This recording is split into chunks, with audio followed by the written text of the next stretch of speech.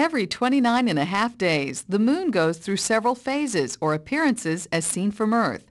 These phases occur because of changes in the location of the moon relative to the Earth and the Sun.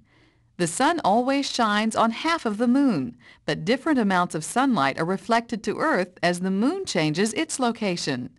On day one of a 29 and a half day cycle, we see no reflected sunlight. The moon is in its new moon phase. On day five, the moon is in its waxing crescent phase. Waxing means growing. On day 8, the moon is in its first quarter. On day 11, the moon is in its waxing gibbous phase.